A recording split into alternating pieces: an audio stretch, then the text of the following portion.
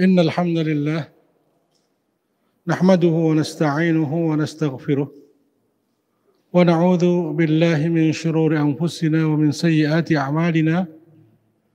من يهده الله فهو المهتد ومن يضلل فلن تجد له وليا مرشدا.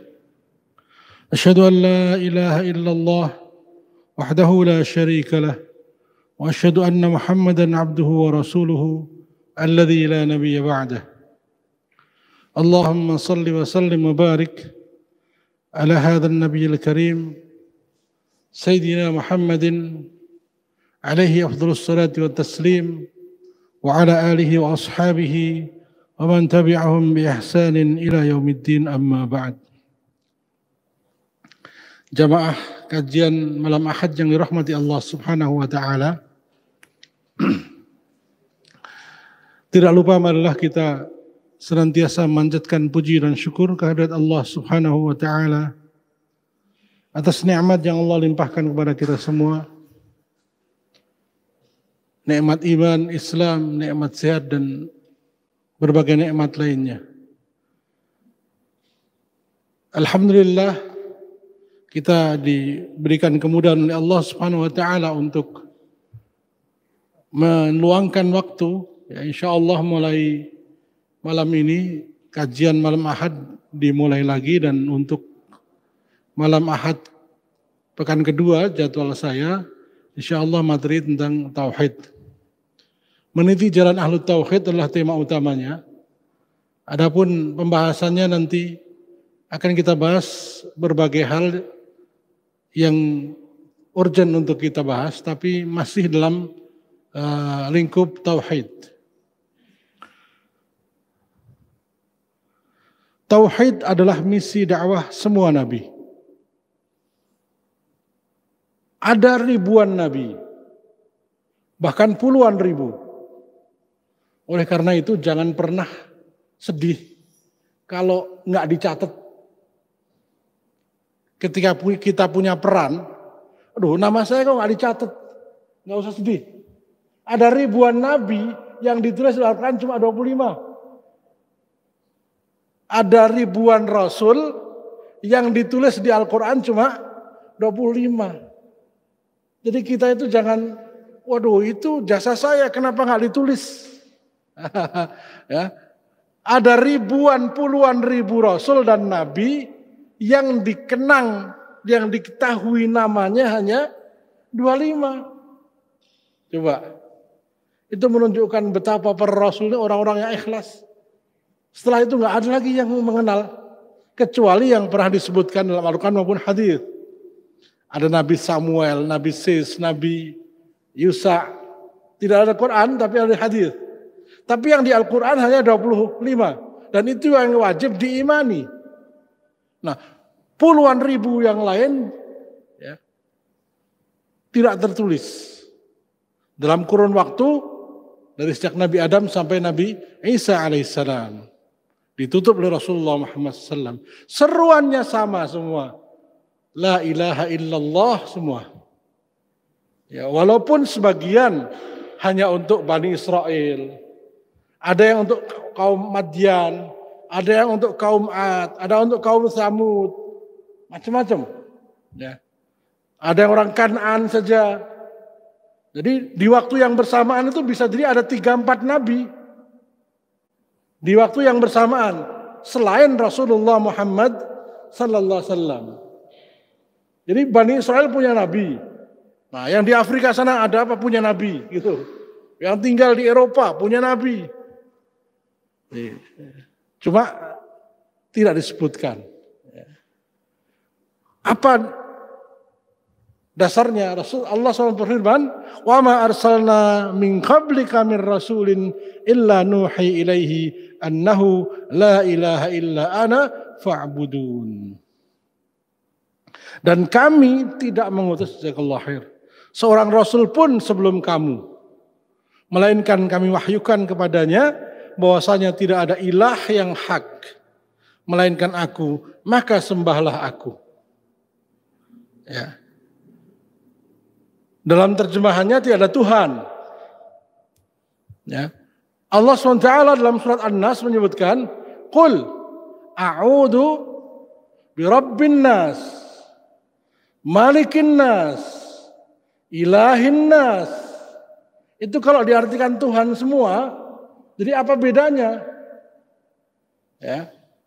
Ada Rabbin nas, malikin nas, ilahin nas. Nah, nanti akan saya jelaskan setelah ini. Ya.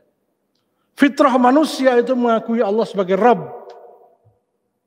Tapi mereka menolak menjadikan Allah sebagai ilah. Ya, nanti akan saya jelaskan. Orang ateis pun ya, dia akan menerima Allah sebagai Rabb. Tapi dia tidak menyebutnya Allah, tidak. Ya. Nanti saya jelaskan. Nah, di sini ilah. Allah sebagai Rob itu sudah ditanamkan sejak manusia lahir. Lalu Allah utus para rasul untuk manusia ini menjadikan Allah hanya satu-satunya ilah yang disembah. Nah, nanti saya jelaskan.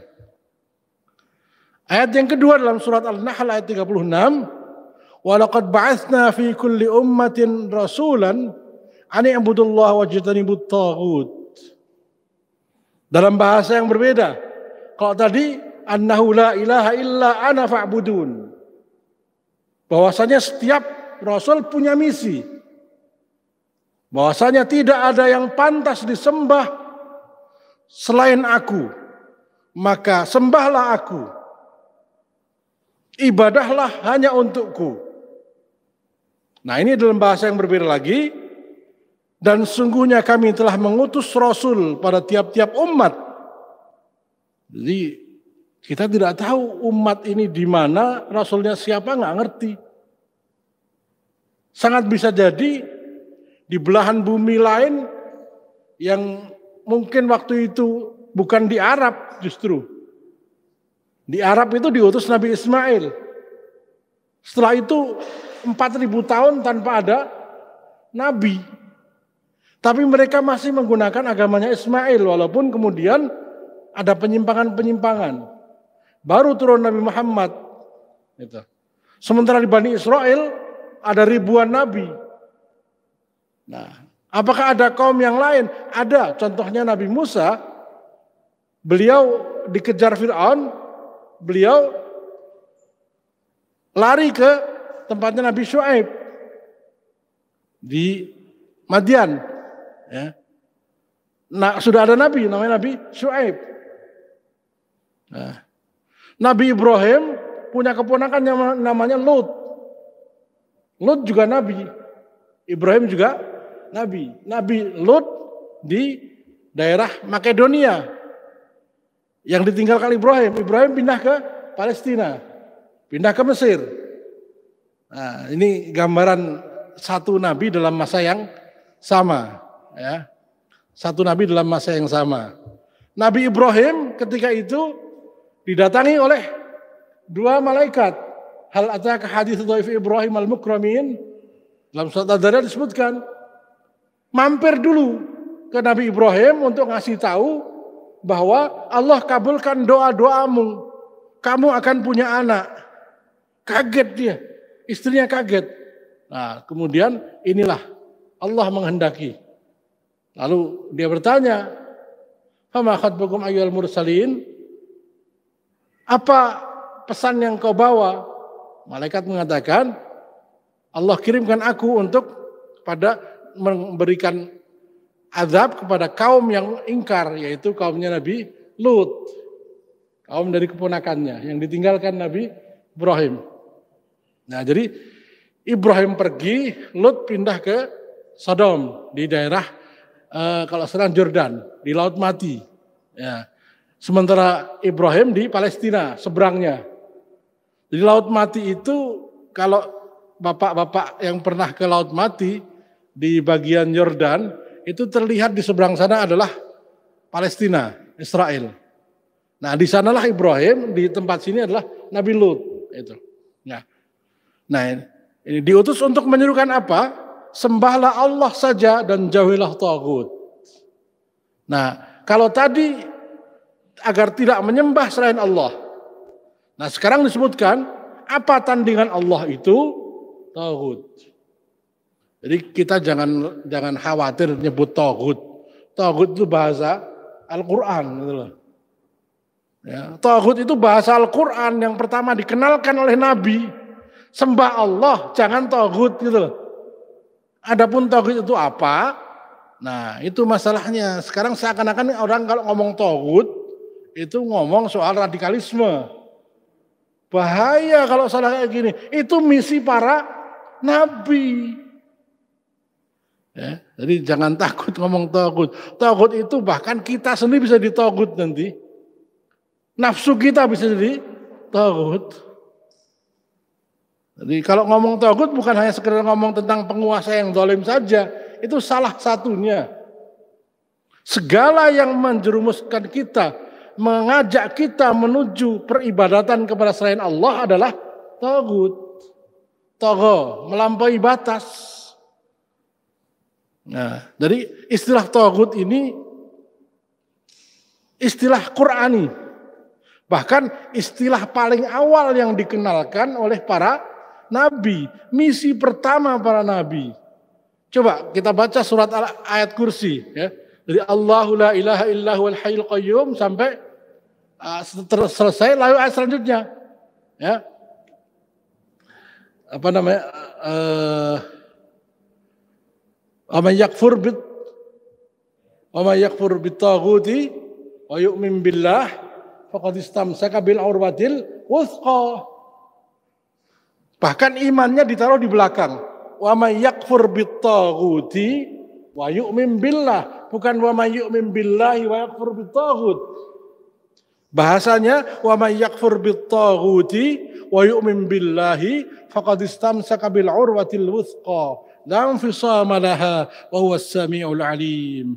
Barang siapa yang mengingkari, mengkufuri, menolak tagut dan sepenuhnya beriman kepada Allah. Para ahli tafsir mengatakan bahwa ya, iman tidak sempurna tanpa menolak tagut. Nah, adapun nanti tagut saya jelaskan. Jadi pikiran kita jangan langsung tagut itu presiden gitu kan gitu ya. Bukan setan itu tagut. Kalau tagut langsung ke sana ya. Bukan begitu ya. Nah ini. Ini saya yakin ini kesengajaan ya. Agar akidah umat itu jadi apa ya? Ngomong sesuatu yang menjadi misi para nabi kok takut tuh. Ya. Jauhilah takut, maka engkau akan benar-benar iman. Maka barang siapa yang mengingkari tagut, nanti akan pada penjelasannya, saya ambil bahasa asli aja. Wa yakfur bil wa yu'min billah dan beriman kepada Allah, faqad istamsaka bil urwatil wuthqa, maka sungguh ia telah istamsaka berpegang teguh bil urwatil wuthqa dengan buhul yang sangat kuat, la malaha yang tidak akan ada yang mampu menguraikannya. Jadi dua pasang ini nggak bisa dipisahkan. Iman kepada Allah, kufur kepada Tauhid. Maka kriminalisasi kalimat togut adalah bagian dari pelemahan iman kaum muslimin. Paham sekarang? Ketika umat Islam takut menyebut kalimat togut, itu artinya ia sedang takut menyebutkan musuh paling besarnya. Apa enggak bahaya? Sama dengan kita takut menyebut kata iblis. Nah, maka saya artikan dari arti tauhidnya saja. Nah, Syekh Muhammad bin Abdul Wahab At-Tamimi menjelaskan tauhid itu sangat banyak, sangat banyak. Jadi bukan cuma satu dua tiga empat lima, sepuluh itu bukan bukan sangat banyak ya. Sepuluh itu banyak. Kalau sangat banyak berarti lebih dari sepuluh. Akan tetapi para pembesarnya ada lima macam. Yaitu satu, setan yang mengajak untuk beribadah kepada selain Allah. Ini yang paling besar. Gembongnya. Nah, setan ini punya pasukan. Setan ini memang menjadi apa namanya eh, musuh yang Allah ciptakan untuk setiap orang beriman.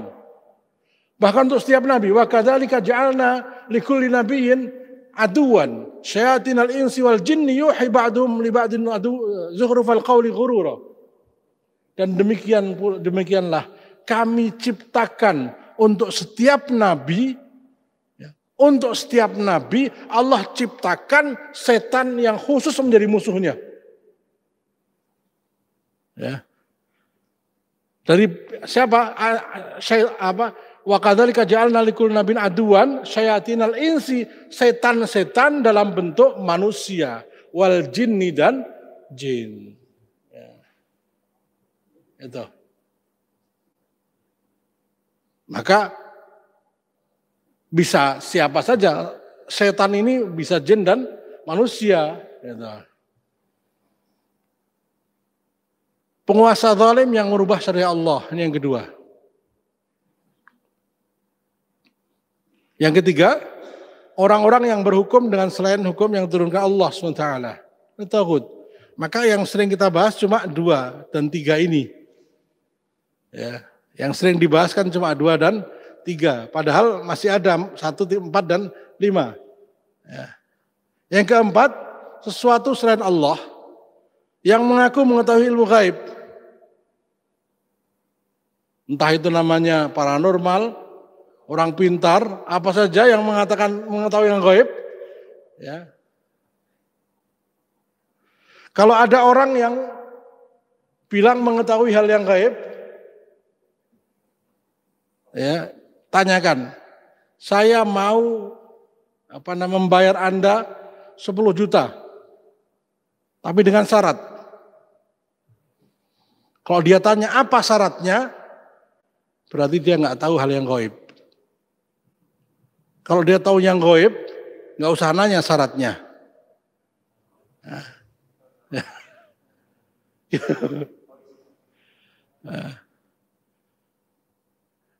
Orang-orang yang mengaku mengetahui yang gaib ini, apa yang diucapkan itu memang benar. Itu bisa jadi kejadian yang akan terjadi.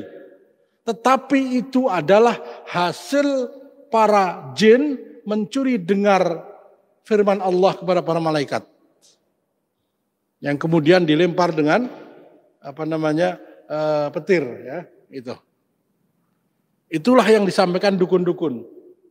Dan saya pernah ada seorang ikhwan yang menemui saya karena beliau ingin me, apa namanya menyadarkan mertuanya yang dikenal sebagai dukun. Nah, dalam suatu dialog dia mengatakan, ya, saya bisa tahu ini dari sejak bak kecil. Dia ngikuti saya. Jadi ada yang membisikkan ke telinganya gitu. Sesuatu tentang sakitnya apa, tamu itu siapa.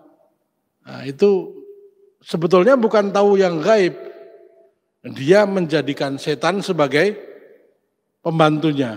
Nah, maka orang-orang yang mengaku mengetahui yang gaib, dia adalah tauhid. Kita tidak membahas ini, nanti ada pembahasan khusus. Lima, suatu selain Allah yang diibadahi dan dia ridho dengan peribadatan tersebut.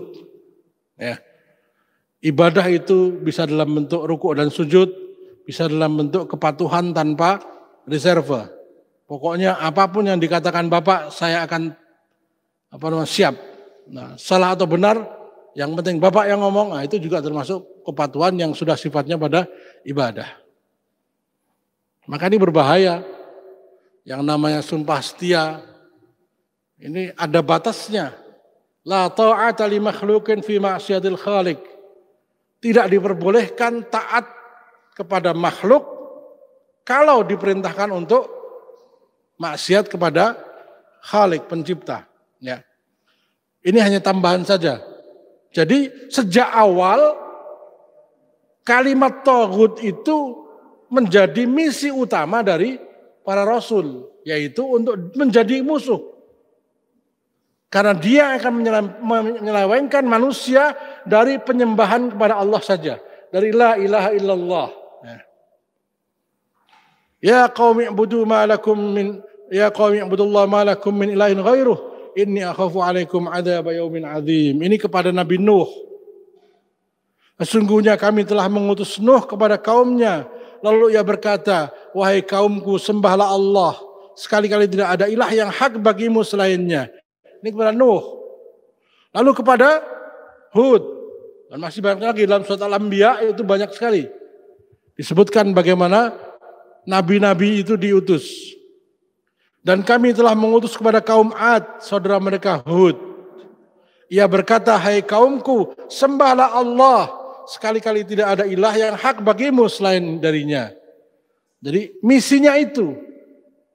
Sembahlah Allah, hanya Allah saja, jangan yang lain. Ya. Selanjutnya, Fitrah manusia adalah mengakui rububiyah Allah. Ya, ini fitrah. Jadi semua manusia kalau istilah komputer itu sudah dikasih microchip, sudah dikasih diinstal bawaan dari pabrik. Ya, mengakui bahwa Allah penciptanya. Ya. Wa khalaqtul jinna wal insa illa liya'budun. Ini ayat pertama. Dan tidaklah aku menciptakan jin dan manusia, melainkan supaya mereka beribadah kepadaku. Jadi ketika sebuah pabrik membuat handphone, maka dia akan sebutkan fungsi-fungsinya. Handphone sekarang ini fungsinya bukan hanya untuk alat komunikasi, tapi juga bisa buat kalkulator, bisa buat kompas, bisa buat uh, video, bisa buat macam-macam. Itulah kemudian diturunkan buku petunjuk. Ya, buku petunjuk supaya tahu fungsinya. Nah, Allah mengatakan wa ma khalaqtu dan tidaklah aku ciptakan jin dan manusia kecuali tidak ada fungsi lain, tidak ada tujuan lain dari diciptakannya jin dan manusia kecuali hanya untuk beribadah kepada Allah. Maka Inilah fungsi utama manusia diciptakan. Jadi Allah ciptakan tangan itu untuk ibadah. Allah ciptakan mata untuk ibadah. Allah ciptakan kaki untuk ibadah. Allah ciptakan rambut untuk ibadah. Seluruh tubuh manusia, lahir dan batin, Allah ciptakan untuk ibadah. Maka tidak mungkin ia tidak bisa ibadah. Kalau ia mau menuruti aturan Allah. Karena tujuan utama diciptakan untuk ibadah. Teh untuk diminum kan gitu. Ya, hanya orang bodoh kemudian teh buat keramas kan. Nah, ini ayat yang menunjukkan tujuan penciptaan. Lalu ayat selanjutnya dalam surat uh, Al-A'raf ya, Wa min bani Adam min dzurriyyatahum. Dan ingatlah ketika Rabbmu mengeluarkan keturunan-keturunan ada anak-anak Adam dari sulbi, tulang belakang mereka. Jadi ketika kita masih di alam ruh dulu, sebelum Allah ciptakan kita. Tapi Allah sudah tetapkan kita. Dan Allah mengambil kesaksian terhadap jiwa mereka. Seraya berfirman, bukankah aku ini Rabbmu mereka menjawab, betul, engkau Rob kami, kami menjadi saksi. Nah sekarang akan saya jelaskan, apa perbedaan Rabbun dan Ilahun. Rabbun berasal dari kata Rabba, pemilik. Ya. Ana Rabbul hadal jawal, saya pemilik handphone ini. Ana Rabbu hadal bait, saya pemilik rumah ini. Pemilik. Penguasa, pengatur. Jadi Allah dalam kedudukannya sebagai pencipta, pemberi rizki, yang memberi sakit, yang menyembuhkan, ya, yang mematikan, yang menghidupkan, yang membuat menangis, membuat ketawa. Urusan yang sangat kecil, surat An-Najm nanti dibuka ya. Wa annahu huwa adhaka wa abka wa annahu huwa amata wa ahya dan sesungguhnya dia dialah Allah yang adhaka yang membuat manusia menang ketawa wa abka dan membuatnya menangis. Ternyata perbuatan tertawa, menangis, sedih, gembira itu tidak lepas dari kehendak Allah Subhanahu wa taala. Wa annahu huwa amata wa ahya dan dialah Allah yang amata mematikan wa ahya dan menghidupkan. Semua ini adalah Rabbun. Semua makhluk fitrahnya mengakui, bahkan iblis mengakui. Ya. Iblis itu ketika ma, ma, uh, mana ke antas juda id amartuk apa yang membuatmu tidak mau sujud kepada Adam ketika aku perintahkan engkau sujud? Qala ana khairum minhu. Iblis menjawab, aku lebih baik daripada Adam. Khalaqtani min nar wa khalaqtahu min tin. Engkau ciptakan aku dari api. Iblis mengakui bahwa Allah yang menciptakannya. Iblis itu masih mengakui bahwa Allah yang menciptakan. Orang ateis nggak percaya bahwa Allah yang menciptakan dunia. Kafir mana iblis sama ateis? ya, tadi minar wa tahu min tin. Itu manusia modern sekarang coba lebih kafir daripada iblis.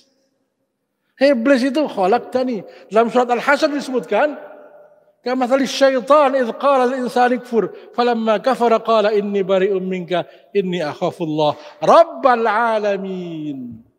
Surat Al-Hasr lembar kedua, eh, halaman ya halaman yang kedua yang paling bawah. Ya. Perumpamaan ini seperti setan yang menggoda manusia kemudian dia mati dalam keadaan kafir. Falamma kafar ketika manusia itu kafir, qala setan mengatakan ini bari umminka, aku baro, aku berlepas diri dari kamu, aku nggak mau tanggung jawab. Salah sendiri kamu kafir, sekarang mati kamu.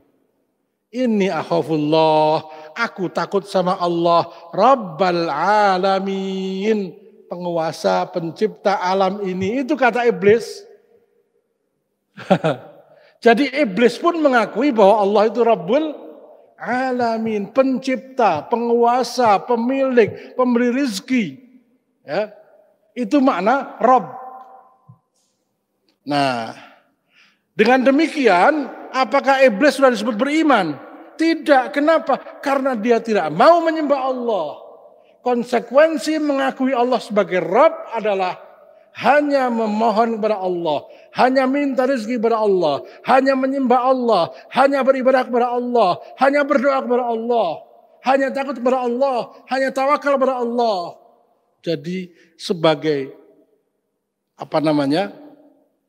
konsekuensi setelah saya mengakui Allah yang menciptakan alam raya ini, maka aku hanya minta pertolongan pada Allah.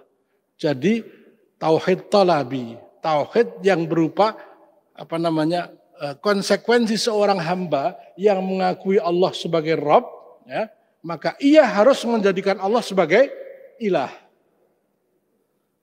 Ya, ilah itu kalau bahasanya Aku menyembah Allah. Objek untuk yang disembah. Yang dimintai pertolongan. Yang kita berdoa. Jadi nggak cukup mengakui Allah sebagai Tuhan, sebagai Rob saja. Tanpa mengakui sebagai ilah. Nah ini. Jadi ilah itu adalah Allah dalam posisinya sebagai satu-satunya yang dimintai pertolongan. Dimintai apa namanya rizki, ditakuti, diibadai. Jadi yang lebih aktif adalah kita. Kalau Rabbun Allah menciptakan, Allah memberi rezeki, Allah yang lebih aktif. Tanpa manusia doa pun Allah tetap Rabb. Dalam hal ini. Tapi ketika manusia tidak meminta kepada Allah, dia tidak menjadikan Allah sebagai ilah. Ketika manusia tidak menyembah Allah, dia tidak menjadikan Allah sebagai ilah. Ini bedanya. Rabbun dan ilah. Nah, ayat ini menjelaskan fitrah manusia mengakui Allah penciptanya. Alastu birabbikum? Bukankah aku yang memberimu nyawa? Iya. Bukankah aku nanti yang akan menghidupkanmu? Iya. Bala. Mereka menjawab, bala syahidna. Ya, kami bersaksi. Nah, kami lakukan yang demikian itu agar di hari kiamat kamu tidak mengatakan sesungguhnya kami adalah orang-orang yang lengah terhadap ini. Loh, saya nggak tahu. Kamu sudah tahu dulu. Mungkin kita bertanya, kapan kita nggak pernah ditanya, gitu ya? Nah, itu ketika kita belum lahir. Ketika kita sudah ditakdirkan oleh Allah akan lahir namanya Fulan bin Fulan. Hasil pernikahan dari Fulanah dan Fulan. Tanggal sekian, jam sekian akan lahir namanya ini. Nah, ketika itulah Allah tetapkan itu dan Allah ambil nyawanya, tapi masih disimpan, tidak kemudian dilahirkan karena nanti setiap ruh akan di uh, tiupkan pada uh, apa namanya bulan keempat ya itu masih di Lauhul Mahfud ketetapannya itu sudah dimintai pertanyaan. Kamu sanggup nggak mengakui aku sebagai Robku? Sanggup ya Allah. Maka orang itu akan lahir. Nah, istilahnya ini diciptakan microchipnya apa? Diinstal software jadi setiap manusia punya software untuk mengakui Allah sebagai Rob. Nah, ayat yang lain mengatakan wa idza raqibu ful fulki Allah mukhlisin ad-din falamma najahum minal bahri idahum yusyrikun. Ketika mereka dalam keadaan tidak ada yang bisa nolong di tengah lautan kena ombak dia mengatakan oh my god gitu ya. Ya Allah, tapi begitu selamat maksiat lagi. Itulah fitrah namanya. Ya, ketika sudah tidak ada lagi yang bisa membantu, sakit sudah parah, pasti dia pingin sesuatu yang miracle. Ya. Udah pokoknya apa namanya, ya, itulah fitrah. Ya. Atau agar kamu tidak mengatakan sungguhnya orang-orang tua kami telah mempersekutukan Allah sejak dahulu. Sedang kami ini adalah anak-anak keturunan yang datang sudah mereka. Maka apakah engkau akan membinasakan kami karena perbuatan orang-orang yang saat dahulu. Jadi nanti di akhirat tidak diterima. Loh ya Allah, saya nggak tahu kalau kamu Rob saya. Nggak ada. Sejak lahir kamu sudah diciptakan seperti itu. Jadi fitrah manusia itu mengakui Allah sebagai penciptanya. Pemberinya rizki, yang memberi nyawa. Ya. Lalu kemudian orang tuanya, lingkungannya, ya, temannya, pemikirannya membuat dia jadi melenceng. Ayat selanjutnya bahwa fitrah manusia menjadikan Allah sebagai Rob. Dan hadapkanlah wajahmu dengan lurus kepada Allah, pada agama Allah. Tetaplah atas fitrah Allah yang telah menciptakan manusia menurut fitrah itu. Jadi manusia lahir dalam keadaan lurus. Walaupun lahir dari orang Yahudi Nasrani. Dia meninggal sampai dia belum balik muslim. Ya. Itu, bayi itu gitu. Tidak ada perubahan pada fitrah Allah. Jadi akan selalu begitu. Itulah agama yang lurus, tapi kebanyakan manusia tidak mengetahui. Rasulullah SAW bersabda, Kullu mauludin yuladu al fitrah. Setiap anak yang lahir dilahirkan di atas fitrah. Tauhid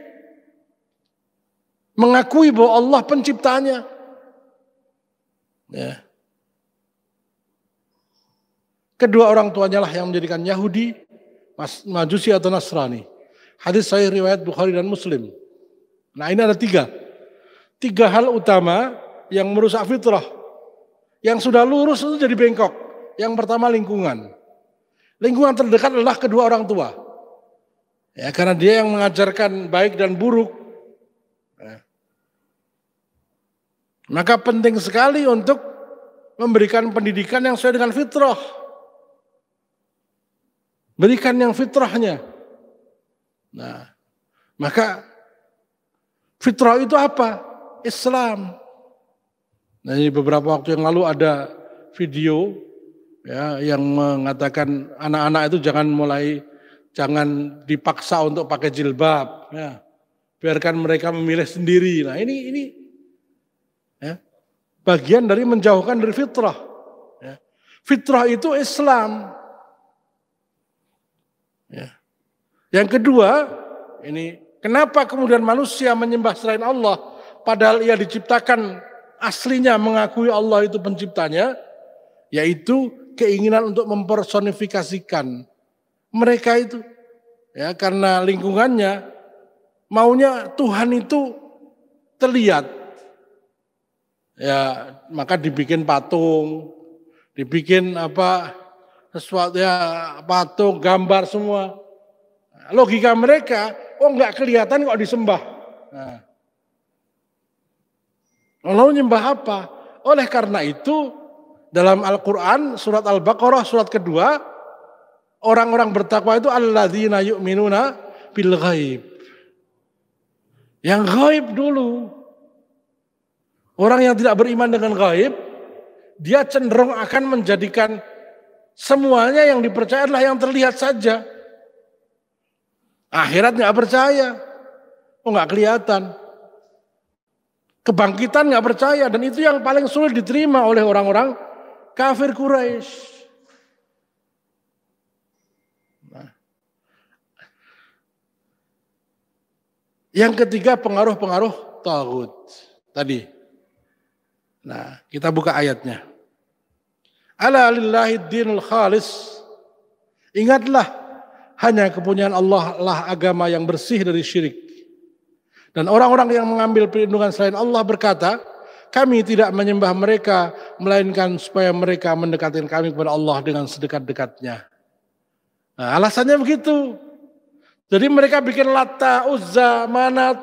Latta itu berasal dari kata ilah. Kalau ilah itu laki-laki, maka butuh pasangan yang dekat. Latta, Tuhan perempuan. Nah, jadi untuk mendekatkan alasannya tawasul kalau bahasa tawasul. Lah kita tuh orang kotor masa mau ada presiden kok kita langsung pasti harus ajudannya dulu kan gitu. Maka Allah menjawab wa idza sa'alaka ibadi anni fa inni qarib. Kalau hamba-hambaku bertanya kepadamu tentangku wahai Muhammad jawablah sesungguhnya aku dekat Nggak perlu lagi ada orang lain yang mendekatkan Allah. Langsung saja minta sama Allah. Kalau berdosa, taubatlah minta apa? ampun kepada Allah. Nah, maka Allah berikan konsep istighfar, taubat. Supaya jangan pernah malu sama Allah. Sebesar apa pun dosamu, Allah akan ampuni, Allah akan ganti. Itu konsep taubat. Nggak perlu kamu berbuat syirik karena merasa kotor, lalu minta pada kuburan, kepada apa nenek moyang tidak perlu. Nah, awal-awalnya orang Quraisy itu begitu mereka dikatakan ya. Kamu ini kan banyak maksiat, kamu banyak dosa, nggak pantas kamu menyembah pada Tuhan yang suci. Maka harus ada perantara Nah, perantara-perantara untuk lebih mendekatkan kepada Allah. Itu alasan orang syirik, orang musyrik. Maka ya, orang musyrik itu bukan nggak menyembah Allah. Ini perlu digaris bawahi. Orang musyrik itu menyembah Allah, tapi di saat yang sama menyembah yang selain Allah. Maka mereka ya baca Fatihah, ya baca tahlil, ya baca solawat. Tapi bawa ancak ke kuburan. Ya sholat. Ya. Begitu. Jadi orang musyrik itu bukan bukan orang agama apa namanya Yahudi Nasrani itu udah kafir sudah. Ya dia Muslim ngakunya. Nah, tapi datang ke dukun, ya, minta ke kuburan, datang ke apa namanya makam tempat-tempat keramat, pesugihan dan sebagainya. Nah, jadi bukan dia tidak punya agama.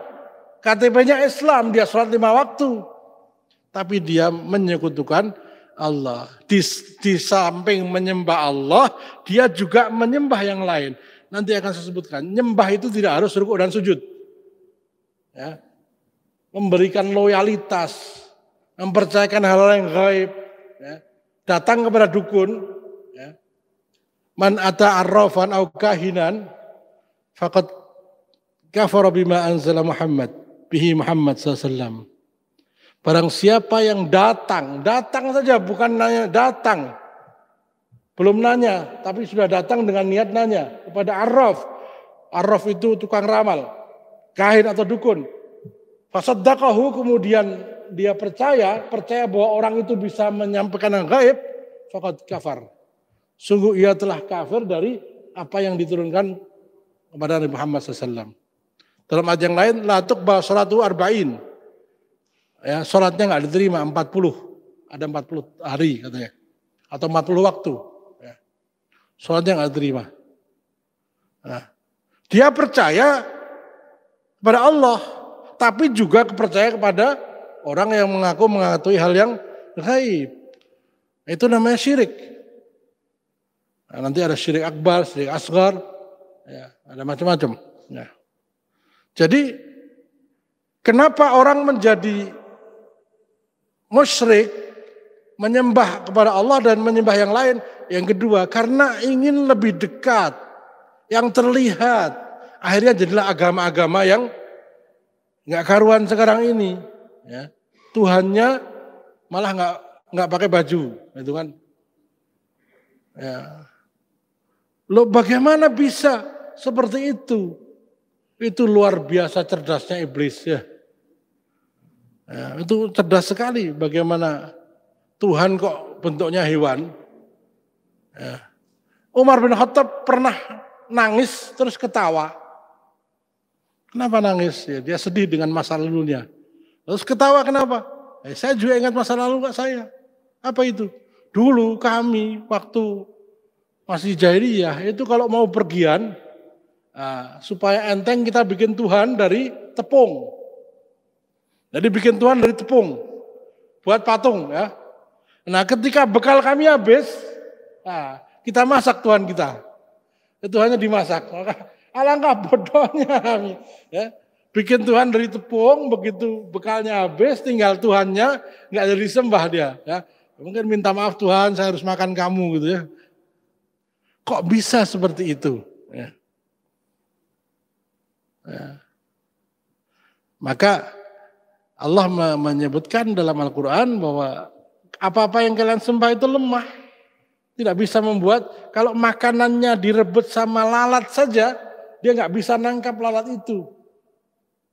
Itu permisalan dari Allah SWT. Apa yang kamu sembah itu, ngadepin lalat aja nggak bisa. Apa yang kamu persembahkan direbut lalat pun dia nggak bisa ngambil. Nah, ini selanjutnya. Yang ketiga, kenapa orang yang fitrahnya itu mengakui Allah sebagai Rabb, kok bisa kemudian tidak menjadikan Allah sebagai ilah? Ya. Sudah diberi perangkat mengakui Allah sebagai Rabbnya, tapi kok tidak mau menjadikan Allah sebagai ilahnya? Ini yang ketiga, yaitu pengaruh dari togut-togut. Allah waliyul ladina amanu yukhrijuhum minadh dhulumati ilan nur. Allah adalah pelindung orang-orang yang beriman. Dia mengeluarkan mereka dari kegelapan, dari kekafiran, ilan nur kepada cahaya iman. Walladzina kafaru, sedangkan orang-orang kafir, pelindungnya pelindung-pelindung tagut yang mengeluarkan mereka dari cahaya kepada kegelapan. Nah, itu. Jadi aslinya mereka itu diciptakan Allah, mengakui Allah penciptanya, tapi tidak mau menyembah Allah saja karena tergoda oleh para togut ini. Togut bisa nanti berupa pemikiran nanti. Jadi tidak harus dalam bentuk manusia. Manusia kan punya pemikiran. Kalau orang itu mati, dia mati, tapi pemikirannya masih hidup. Ya. Maka ada ada sosialisme, sekularisme, itu adalah togut-togut yang hasil ciptaan manusia. Sekularisme contohnya, ya, memisahkan kehidupan dari agama. Fasruddin al hayah. Agama adalah urusan privat. Ini hasil cuci otak sekularisme. Nah, Sehingga urusan agama hanya masalah rukuk, sujud, zakat, puasa, haji. Ngurus negara tidak ada kaitan dengan agama. Dan itu orang Islam banyak yang kayak begini. Kiai haji, profesor doktor. Nah, ini bagaimana dalam bentuk pemikiran. Nah, innamal mu'minuna ikhwatun. Sesungguhnya tidak ada lain orang-orang beriman itulah saudara. Tiba-tiba sekarang ya, ada lagi pemikiran bahwa lo ngapain kita bantu yang di Palestina? Oh, jauh-jauh mendingan yang di sini. Nah, karena apa? Kotak-kotak nasionalisme. Nah, ini juga bagian dari pemikiran Tauhid. Nanti kita bahas bagaimana sekularisme, nasionalisme, demokrasi dan sebagainya menjadi uh, Tauhid-Tauhid baru yang yang kemudian di masukkan dalam dunia Islam. Ya.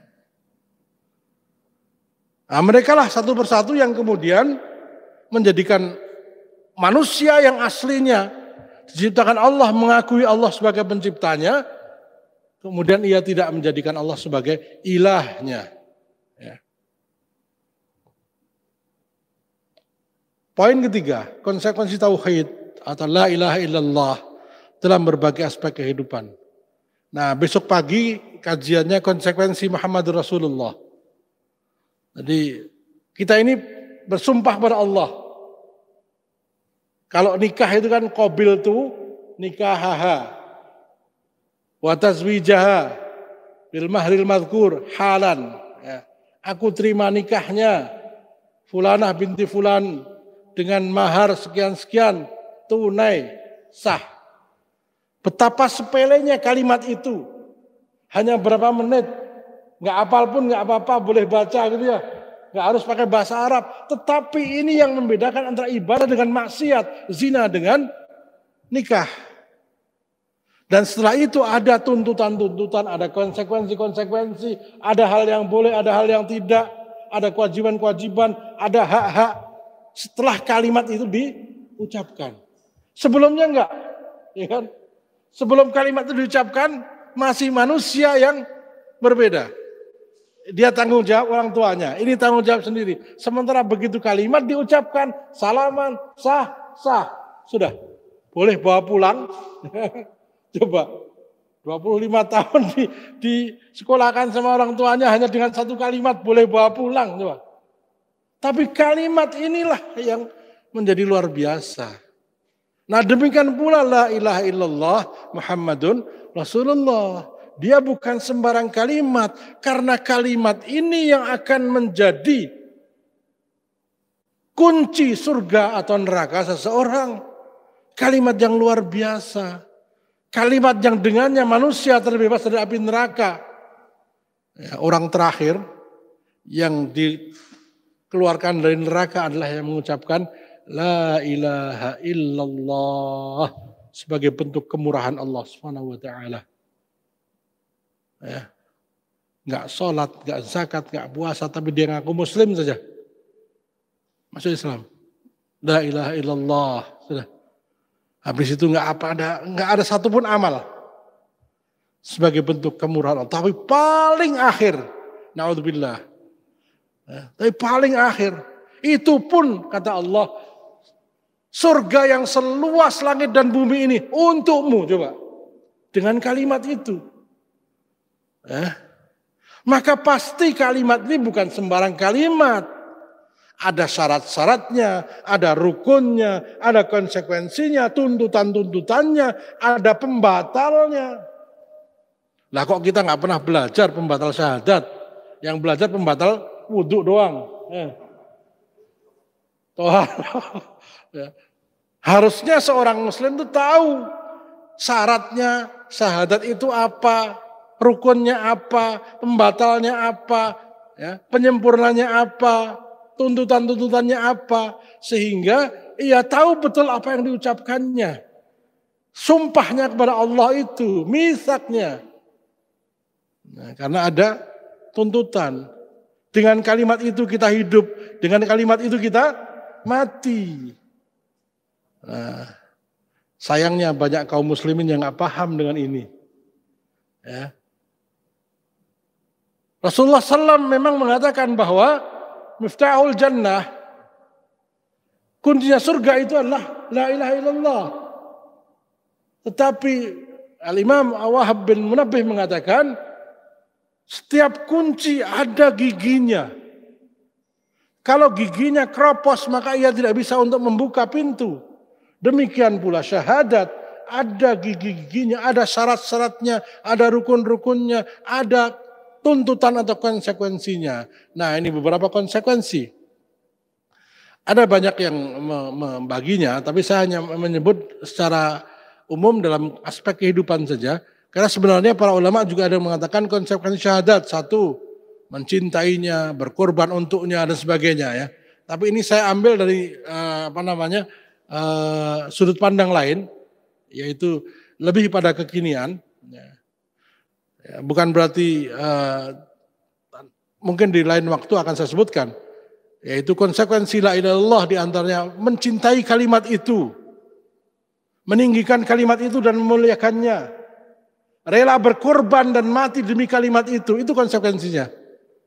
Nah, maka jangan sepelekan kalimat la ilaha illallah Muhammad Rasulullah. Seumur hidup dia bermaksiat, satu menit menjelang mati dia mengatakan La ilaha illallah Muhammad Rasulullah. Masuk Islam seluruh dosanya dihapus. Setelah itu ketabrak mobil. Surga. Coba. Orang yang paling paling berbahagia adalah orang yang masuk Islam di usia 80 tahun, pagi masuk Islam, sorenya mati. Itu orang yang paling bahagia. Seluruh dosa diampuni dan dia tidak punya dosa. Kafaru qad salaf. Wahai Muhammad, katakan kepada orang-orang yang kafir, kalau mereka mau berhenti dari kafirannya dan beriman kepada Allah, seluruh dosanya yang lalu diampuni. Coba. Ya. Ya, enggak kita kita jangan jadi kayak begitu maksudnya. Kita jangan mau jadi kayak gitu ya. ya. ya, ya. Kita nggak mau jadi seperti itu, tapi itu termasuk orang yang beruntung.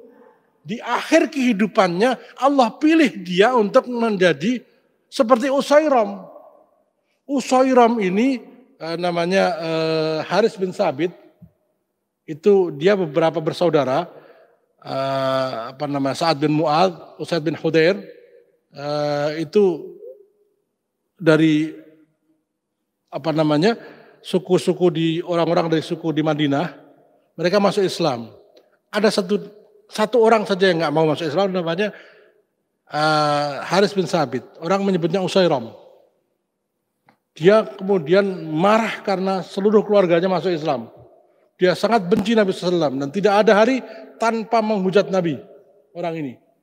Tapi Allah kehendaki dia dibuka hati dayahnya.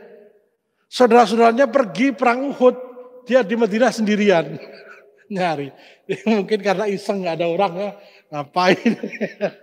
Tapi Allah bukan pintu hidayah, dia tiba-tiba tergerak untuk ikut ke Uhud. Ditutupi mukanya pakai serban, dia temui Nabi dibuka, siapa kamu?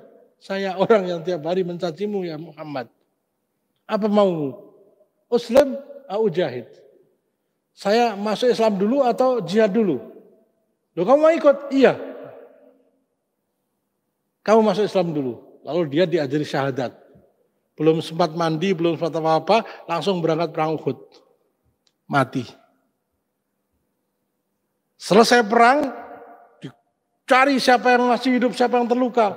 Abu Hurairah mendapati seorang ditutupi dengan serban. Dibuka, loh kok kamu? Kamu kok di sini? Kamu kan tiap hari menghina Nabi. Kok bisa di sini? Apakah karena kamu membela saudaramu, ikut saudaramu, atau karena kamu membela Nabi, membela Islam? karena aku mencintai Islam. Setelah mengucapkan itu, dia mati.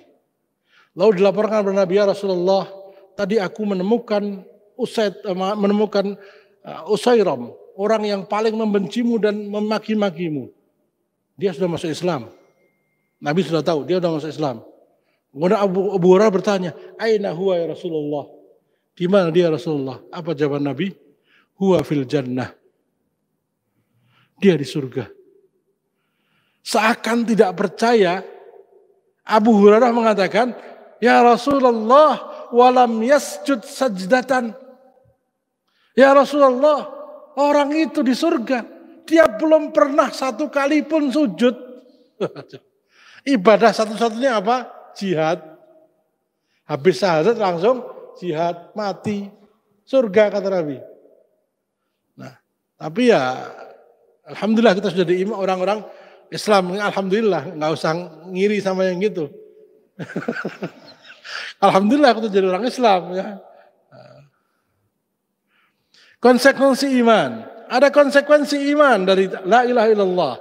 Konsekuensi ibadah konsekuensi perundang-undangan, konsekuensi akhlak, konsekuensi pemikiran dan konsekuensi peradaban. Ini yang akan kita bahas mungkin cuma tiga sampai konsekuensi perundang-undangan. Ketika seorang mengatakan tidak ada yang pantas diibadahi, tidak ada yang pantas dijadikan ilah. Ilah itu artinya ma'luh, al-ma'luhu, al-ilahu, al-ma'luh, al-mahbub yang dicintai dengan sepenuhnya, yang dirindukan, tempat kita bergantung, itu namanya ilah. Ya.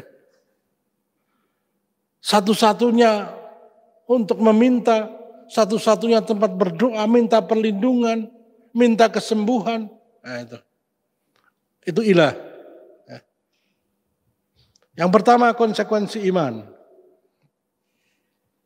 Ya ayyuhalladzina amanu aminu billahi wa rasulihi wal kitabil ladzi nazzala ala rasulihi wal kitabil ladzi anzala min qablu wa man yakfur billahi wa malaikatihi wa kutubihi wal yawmil akhir faqad adalla dhalalan ba'ida. Wahai orang-orang beriman, tetaplah beriman kepada Allah. Ayat ini menunjukkan bahwa orang beriman itu bisa naik turun al imanu yazidu wa yanqus Iman itu berkurang dan bertambah. Dalam hadis yang lain yazidu bitta'ah, bertambah karena taat, ketaatan. Wa yang kusubil maksiyah dan berkurang karena maksiat. Ya. Istighfar itu menghapus maksiat. Maka istighfar memberikan kekuatan. Itu kata Allah. Firman Allah begitu. Ya.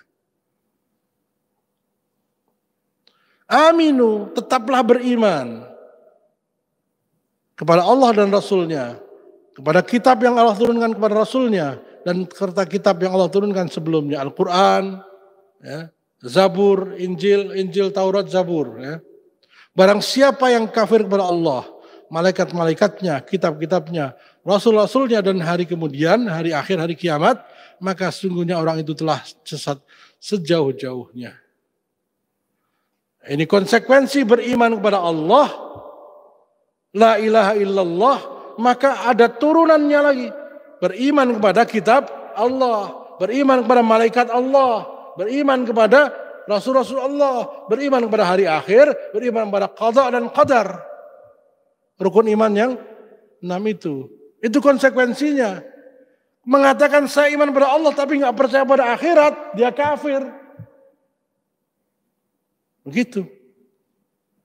Ada kan empok-empok yang udah tua yang bilang bahwa apa namanya ideologi tertutup yang mengatakan apa ya tentang ya, bercerita tentang masa depan yang notabene dia sendiri belum melihatnya. Nah, dia katakan akhirat dengan kalimat seperti itu. Cak Non saja yang budayawan mengatakan kafir. Ya. Kalau apa namanya? Formalnya kafir. Itu. Orang yang tidak percaya dengan akhirat itu kafir. Kenapa iblis mencari teman sebanyak-banyaknya? Karena dia percaya dengan akhirat. Karena dia percaya dengan neraka, maka dia cari teman sebanyak-banyaknya ya kawan.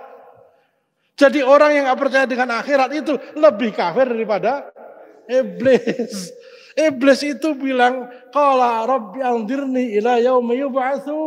Ya Allah, tangguhkan kematianku sampai hari kebangkitan. Iblis tahu dia nggak bisa menunda kematian. Iblis tahu bahwa yang bisa mematikan menghidupkan hanya Allah. Maka dia minta syarat. Kalau engkau laknat aku, maka aku minta syarat ya Allah. Anzirni ila yaumi yub'atsun. Tunda kematianku sampai hari kebangkitan. Jadi iblis itu percaya hari kiamat, hari kebangkitan, percaya mahsyar dan sebagainya. Maka karena dia percaya, dia cari teman sebanyak-banyaknya. La'ughwiyannahum ajma'in. Ayat selanjutnya. Qala innaka minal munzarin. Ya oke, okay, kamu akan ditunda kematiannya. Itu Allah. Jadi iblis minta sama Allah. Angfirni ya Allah, tunda kematianku. Supaya apa? Supaya menggoda manusia. Illa ibadaka minhumul mukhlasin, kata iblis. Yang tidak bisa aku ganggu adalah hamba-hambamu yang ikhlas. Itu. Karena ikhlas itu hanya karena Allah saja. Tidak bisa diganggu iblis. Nah, Hasiban nasu ayutraka sudah. Ini hal yang paling susah diterima orang-orang ateis. Hal yang paling susah diterima orang Quraisy. Wong mati jadi tulang kok bisa lahir lagi itu gimana? Bisa bangkit lagi gimana? Maka ayat ini menjawab dengan sangat cerdas sekali. Apakah manusia mengira bahwa dia akan dibiarkan begitu saja? Ya. Kalau orang eh, apa namanya Jawa bilang darwis, mutar ya wis. Itu ada di Jogja itu kan ada kelompok darwis ya itu ya. Ada yang orang Jogja tahu itu ya. Hamka Darwis namanya, orang-orang P3. Nah itu. Hamka himpunan anak muda Ka'bah. Darwis mudar ya, ya wis itu memang orang-orang nekat semua itu. Nah, kalau udah mati ya sudah. Tidak bisa begitu. Nah, bukankah dia dahulu setetes mani yang ditumpahkan ke rahim ibu? Kemudian mani itu menjadi segumpal darah, Allah menciptakannya dan menyempurnakannya. Lalu Allah menjadikan daripada sepasang laki-laki dan perempuan. Air, air yang cuma setetes kayak gitu, bisa jadi darah, jadi daging dari manusia, jadi sepasang, sepasang itu jadi lagi terus begitu. Allah bisa membuat seperti itu. Bagaimana Allah nggak bisa untuk mengembalikan seperti itu jadi hidup lagi. Yang tidak ada jadi ada aja bisa, apalagi yang tadinya ada menjadi ada lagi. Itu logika yang sangat mudah sekali. Mauta? Bukankah Allah yang bisa berbuat demikian itu lebih mudah untuk menghidupkan orang yang mati? Eh. Emangnya dari apa kamu ini? Ya. Kok kemudian kamu nggak percaya bahwa nanti mati akan bisa dibangkitkan? Orang ateis sekarang nggak percaya dengan itu. Ya. Islam itu agama terbesar di dunia sebenarnya. Adapun Kristen, Yahudi itu mereka sebenarnya anak cucunya sudah cuma nama saja. Mereka free thinker istilahnya. Udah nggak percaya agama itu apa. Nggak penting kok, nggak ada pelajaran agama di sekolah-sekolah di barat itu kok. Ke gereja itu hanya tiga kali. Waktu dibaptis, waktu nikah sama waktu mati. Sudah. Jadi nggak ngerti agama itu apa. Di sekolah nggak ada pelajaran agama. Itu yang dimaui oleh orang-orang di Indonesia kayak gitu. KTP-nya nggak ada agama. Jadi seakan-akan kalau kita nanya agama kamu ke apa? Itu kayak nanya, kamu kalau pagi makan teh apa kopi? Perkara yang nggak penting gitu. Padahal itu adalah hal yang sangat penting dalam kehidupan. Ketika manusia kehilangan iman kepada Allah dan hari akhir, maka ia tidak akan mampu melihat bentuk dan jati dirinya secara utuh. Nah, demikian juga hukum, hukum yang tidak mempertimbangkan hari akhir, hukum itu tidak sempurna. Nah, Islam tidak takut kepada orang yang bebas dari hukuman. Bahkan Islam memberikan kaidah, lebih baik salah tidak menghukum dibandingkan salah menghukum. Kenapa? Di dunia dia bisa bebas, di akhirat dia tidak akan bebas. Undang-undang yang tidak mempertimbangkan hari akhir, maka undang-undang ini cacat dan tidak akan sempurna mengatur kehidupan manusia. Lihatlah bagaimana contoh di zaman Nabi, ya, sahabat ya, yang meminta untuk dirajam, meminta untuk dirajam.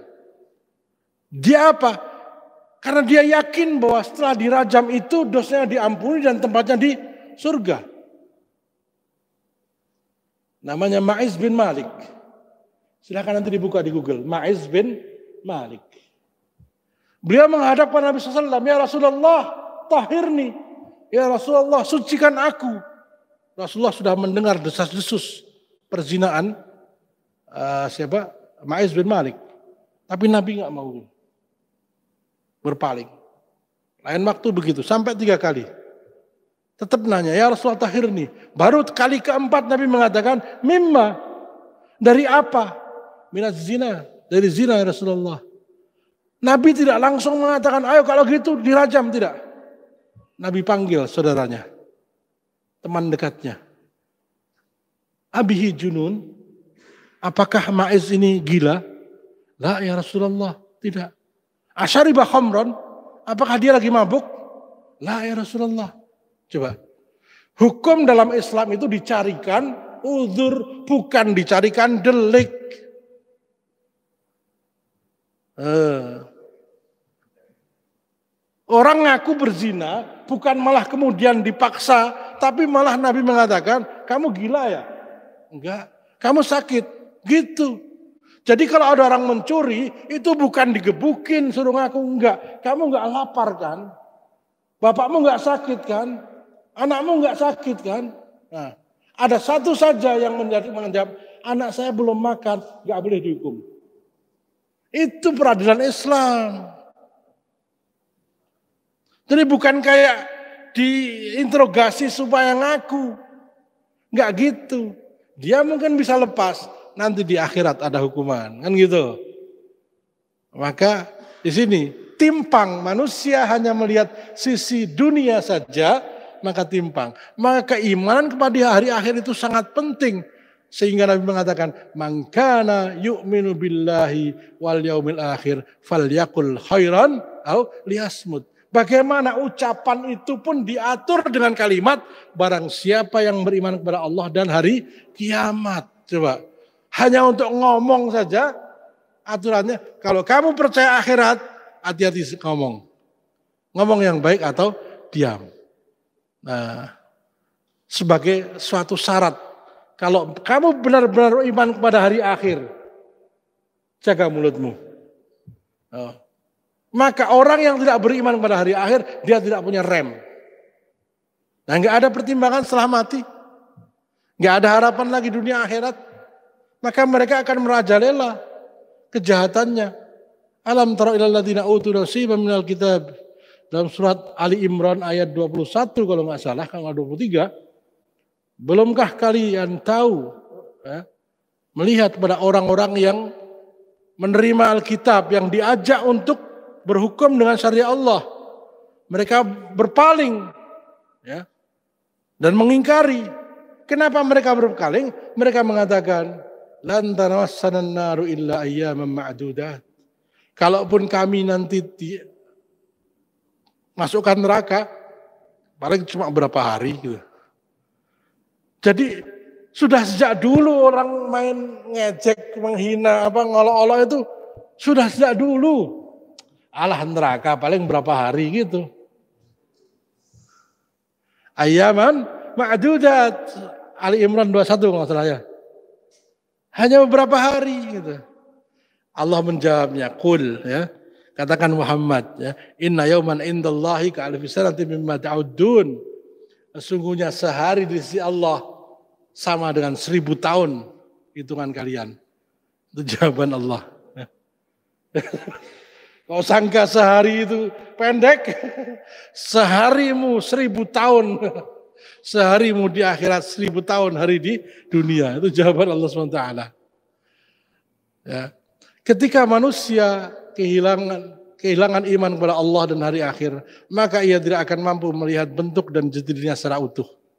Kehidupan mereka akan kehilangan makna, arah dan hikmah dan eksistensinya. Mereka akan hidup seperti hewan. Ketika manusia tidak mengetahui bahwa hidupnya memiliki makna dan hikmah, mustahil ia akan mengimani nilai-nilai mulia yang mengangkatnya dari derajat hewan menjadi makhluk yang mulia. Ia akan hidup lebih rendah dari hewan. Ah ini kalau orang nggak paham, oh Ustadz ini menghina manusia gitu ya. Maka Ustadz Abu itu bilang kalau kalau manusia kafir dibilang anjing itu yang terhina anjingnya. Orang kafir dibilang anjing itu yang terhina anjingnya. Anjingnya lebih mulia والتين والزيتون وطور سينين وهذا البلد الأمين berapa sumpah والتين والزيتون وطور سينين وهذا البلد الأمين empat sumpah baru laqad khalaqnal insana fi ahsani taqwim thumma radadnahu asfala safilin sungguh telah kami ciptakan manusia dalam sebaik-baik penciptaan lalu kami jatuhkan derajat yang paling rendah. Ini derajatnya. Ya, dan sungguhnya kami telah dan sungguhnya kami jadikan untuk isi neraka ya. Kathiram minal jinni wal insi ya. kebanyakan dari jin dan manusia lahum qulubun la yafqahuna biha mereka punya hati tidak digunakan untuk memahami. Lahum a'yunun la yubsiruna. Punya mata tidak digunakan untuk melihat. Dan mereka mempunyai telinga tapi tidak digunakan untuk mendengar ayat-ayat Allah. Mereka itu sebagai binatang ternak. Bahkan mereka lebih sesat lagi. Mereka itulah orang-orang yang lalai. Binatang ternak mereka bertasbih. Sabbahalillahi Ma fis samawati wa ma fil ard jelas sekali. Bertasbihlah segala yang di langit dan di bumi. Dalam surat Isra ayat 47 kalau nggak salah, walakin la yafqala tafqawna tasbihahum, tapi kalian tidak faham, tidak tahu bagaimana mereka bertasbih. Tusabbihu tusabbihu lahus samawati sab'u wal ardu wa ma fihin wa yusabbihu illa wa in wa yusabbihu bihamdi. Walakin la tafqahuna tasbihahum. Wa in min syai'in illa yusabbihu bihamdi. Walakin la tafqahuna tasbihahum. Langit yang tujuh bumi dan segala yang ada di antara keduanya bertasbih kepada Allah dan tidak ada satupun di antara semua itu kecuali bertasbih kepada Allah. Walakin la tafqahuna tasbihahum. Tapi kalian tidak faham bagaimana mereka bertasbih. Bintang gemintang bertasbih. Matahari yang begitu gagah bertasbih. Nah ini. Konsekuensi iman la ilaha illallah mencakup Pokok-pokok iman seperti dijelaskan oleh Rasulullah dalam hadis tentang rukun iman yang enam yaitu iman kepada Allah, iman kepada malaikat Allah, iman kepada Allah, iman kepada Rasul Rasul Allah, iman kepada hari kiamat dan iman kepada qada dan qadar. Ini juga akan kita bahas nanti dalam kajian rukun iman ya. Ya, kita mengulang-ulang kajian yang sudah tidak apa-apa karena beda koki, beda masakan, ya Allah. Konsekuensi ibadah. Yang kedua ya, setelah konsekuensi iman. Jadi setiap iman, rukun iman punya konsekuensi. Kenapa tidak cukup rukun iman kepada Allah saja? Kenapa harus pada malaikat-malaikat Allah? Nah, orang kita itu lebih takut pada anak kecil dibandingkan malaikat. Mau puasa, mau putus nggak puasa, nggak enak sama anak saya. Nah, enak sama anak saya. Sama malaikat nggak nggak nggak merasa nggak enak. Tadi CCTV itu lebih menakutkan daripada malaikat. Padahal ma yalfidhu min qawlin illa ladaihi raqibun atid dan surat Qaf disebutkan tidak terucap satu pun ucapan kecuali di sampingnya ada raqibun atid, ada malaikat yang menjaga dan mengawasi. Nah, kiraman katibin, malaikat-malaikat yang mulia yang selalu menulis ya alamu nama taf'alun, mereka mengetahui apa pun yang kalian lakukan. Ini kalah sama anak kecil.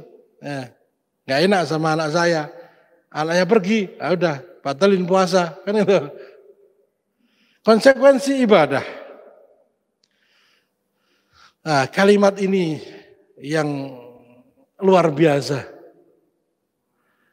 Orang yang memahami kalimat ini, ya, maka jiwanya, hartanya, anaknya, istrinya semua akan dikorbankan untuk Islam. Kul katakanlah inna salati wa nusuki wa mahyaya wa mamati lillahi rabbil alamin la syarikalah wa umirtu wa ana awalul muslimin. Maka tidak bisa memahami orang ini uh, tidak bisa memahami kalimat ini kecuali orang beriman. Orang Islam kok liberal. Liberal itu bebas, Islam itu tunduk. Aslama yuslimu menyerahkan diri ini. Ya. Kul katakanlah Inna salati sesungguhnya salatku wa nusuki ibadahku wa mahyaya hidupku wa mamati dan matiku lillahi rabbil alamin untuk Allah Rabbnya semesta alam pencipta pemilik ya pengatur semesta alam la syarikalah tidaklah sekutu baginya. Wabidzalika umirtu dan demikian itulah diperintahkan kepadaku dan aku wa ana awal muslimin dan aku adalah orang-orang yang pertama-tama menyerahkan diri. Muslim, aslama yuslim itu menyerahkan diri seperti orang yang memborokolkan dirinya. Ya, diikat tangannya. Kok Islam kok liberal? Enggak mungkin. Orang yang Islam itu tunduk patuh tidak melawan, menyerahkan dirinya semuanya, liberal nggak mau diatur loh ini. Maka dia tidak akan paham kalimat seperti ini. Jika konsekuensi iman kepada la ilaha illallah menuntut manusia untuk mengemani Allah, malaikatnya, kitab-kitabnya, rasul-rasulnya, hari kiamat serta qadar dan qadar baik maupun buruk, maka konsekuensi ibadah menuntut manusia untuk menunjukkan seluruh bentuk ibadah hanya kepada Allah saja. Tiada sekutu baginya sesuai dengan tata cara yang diajarkan oleh para rasul dan yang diutus Allah Ta'ala. Inilah makna beriman kepada Rasul. Ya, ia membawa pesan dari Allah untuk manusia. Maka ia harus diimani. Bahkan sampai wa mayyuti'ir rasula faqad atau Allah. Barang siapa yang taat kepada Rasul berarti dia taat kepada Allah. Itu otoritas yang Allah berikan kepada para Rasul. Taat sama kamu berarti taat sama aku. Begitu kata Allah. Sampai-sampai seakan-akan ya surga itu. Ya. Malaikat penjaga surga itu ketika di, ada salam, siapa kamu? Saya Muhammad. Dia mengatakan, untuk kamulah. Ini ya. Aku menunggu. Jadi menunggu untuk orang pertama yang masuk surga adalah Ahmad Sallam. Ya. Ayat di atas menjelaskan betapa luar secara cakupan ibadah. Tidak hanya sebatas ruku dan sujud saja. Ibadah mencakup segala, segala aspek kehidupan manusia. Lahir dan batin, pikiran dan perbuatan. Wong tidur itu ibadah. Ngantuk, ngiler ibadah. Kentut ibadah. Ya, kalau disyukuri ibadah. Bahkan hubungan suami istri ibadah. BAB ibadah. Semuanya ibadah. Bayangkan, Islam itu mengatur semuanya, bahkan sesuatu yang tidak bisa kita kontrol pun ibadah. Makan bisa dikontrol, minum bisa dikontrol, tidur mungkin kita bisa sengaja tidur. Siapa yang bisa mengontrol bersin? Ayo, mari kita bersama-sama bersin. Satu, dua, tiga. Nggak bisa kan? Nah. Kecuali bahwa nah, apa namanya bulu ya, barulah berkemoceng, barulah bersin. Itu pun tidak luput dari hidayah Allah. Ya, hak mukmin kepada mukmin lainnya, muslim satu bersama muslim lainnya adalah apabila ia bersin dan mengucapkan alhamdulillah wajib bagi yang mendengar menjawab yarhamukallah. Coba. Itu diatur. Lalu yang bersin mengatakan yahdikumullah wa balakum. Coba. Kok yang sengaja-sengaja nggak diatur? Yang nggak sengaja saja bisa di diatur sama Allah SWT. Itu kompletnya Islam. Ya. Nah, ini ayat Al-Baqarah 177 ini itu Islam secara keseluruhan itu. Laisal birra an tuwallu wujuhakum qibal al-masyriq wal maghrib walakinnal birra man amana billah. Jadi rukun iman, rukun Islam, kemudian akhlak semua tercantum di ayat ini. Ini ayat yang menjelaskan ibadah secara keseluruhan. Bukanlah menghadap wajah, menghadapkan wajahmu ke arah timur dan barat itu suatu kebajikan. Bukan hanya itu, bukan hanya rukuk, sujud, sholat ngadep ke kiblat, bukan. Bukan itu saja. Akan tetapi sungguhnya kebajikan itu ialah beriman kepada Allah, hari kemudian hari kiamat, malaikat-malaikatnya, kitab-kitabnya, nabi-nabinya, dan memberikan harta yang dicintainya kepada kerabatnya, zakat. Ya. Jadi iman itu melahirkan amal soleh. Amal soleh melahirkan akhlak yang baik. Ya. Harta yang dicintai kepada kerabatnya, anak yatim, orang miskin, musafir, ibnu sabil, ya.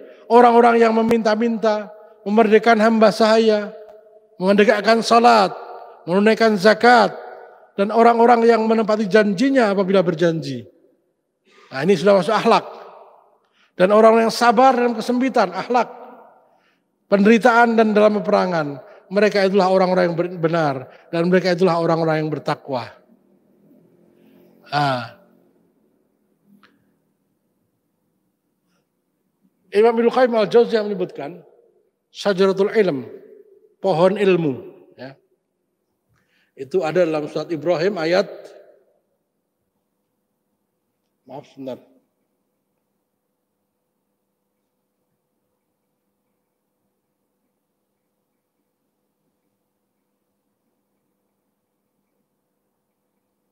Ibrahim ayat 24, 25, 26.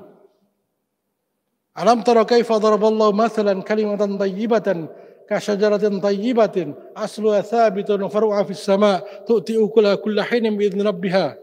Ya.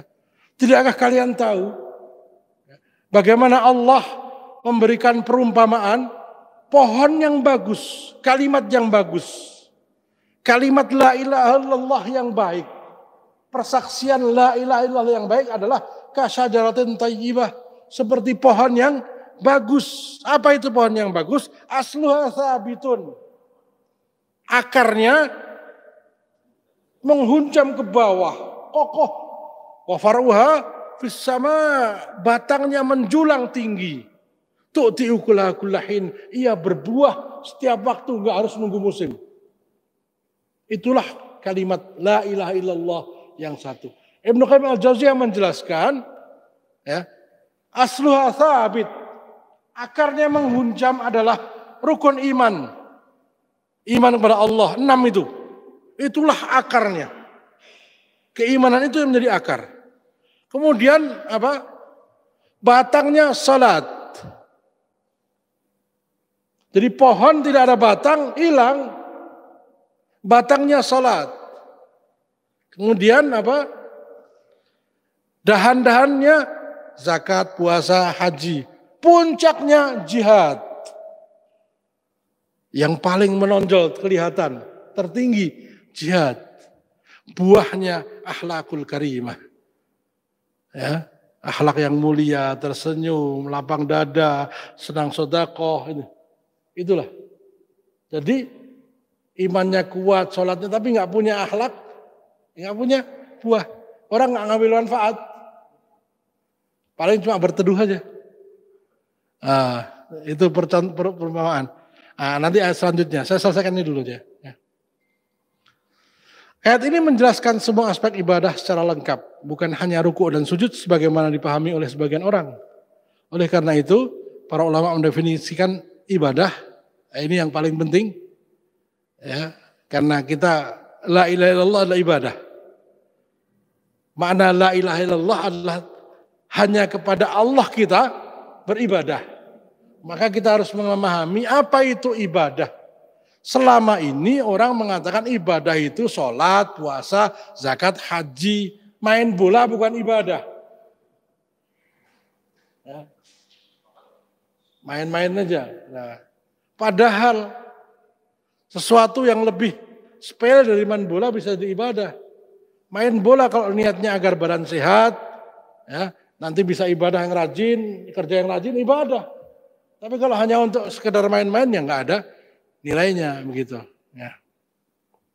Sampai tabas semua kali akhika sedekah. Ya. Kamu tersenyum kepada saudaramu sedekah. Ya. Subhanallah. Saking inginnya manusia masuk surga sampai Allah carikan cara paling mudah untuk beramal. Senyum sedekah. Gak bisa zikir. Gak punya duit untuk beramal, Katakan Subhanallah, Alhamdulillah, La ilaha illallah, Allahu Akbar, La hawla wa la quwata illa billah. Satu pohon ditanam di surga. Subhanallah bihamdi. Subhanallah azim. Lebih berat. Ya.